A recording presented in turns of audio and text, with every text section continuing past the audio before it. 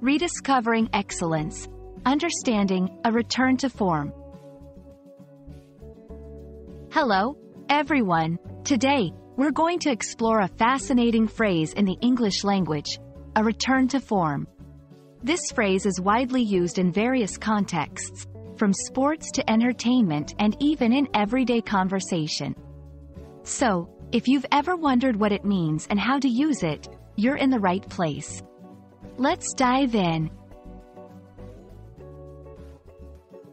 A return to form refers to regaining a previous level of performance, skill, or quality that was once typical. It's often used when someone or something that had been underperforming or experiencing a decline comes back to their usual high standard.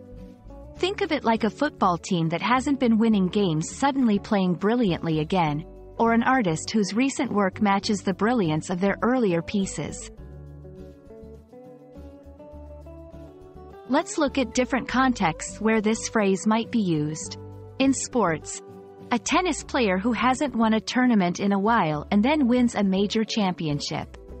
In arts and entertainment, a movie director who produces a critically acclaimed film after a series of less successful movies. In personal development, an individual getting back to a healthy routine after a period of neglect. These examples show how a return to form can be applied in various scenarios, illustrating a resurgence or recovery to a previously known state of excellence. The phrase likely originated from the world of art and literature, where it would describe an artist or writer returning to their typical style or quality after a period of deviation or lesser work. Over time, its usage expanded to include any scenario involving a return to previously exhibited high standards. Remember, it's a positive phrase used to acknowledge improvement or recovery.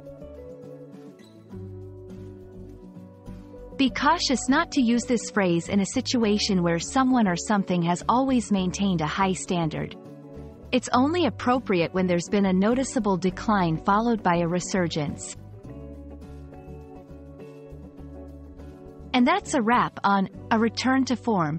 I hope this video has shed light on this interesting phrase and how you can use it accurately in different contexts. Remember, Language is a window to understanding cultures and expressions, and phrases like these add color and depth to our conversations. Thanks for watching, and I hope you found this helpful. Keep learning, and see you in the next video.